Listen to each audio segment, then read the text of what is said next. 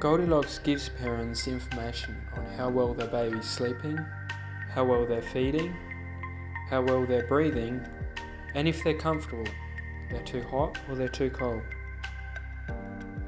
And we designed this specifically with active parents in mind parents that want to go out to the cafe with their friends, parents that want to travel. All you need is a smartphone and the Goldilocks singlet. Another great feature is that Goldilocks will track your baby's development goals.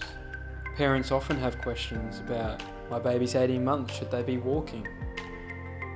And these development goals help you track whether your baby is developing normally or there's an abnormality that you need help or seek expert advice about.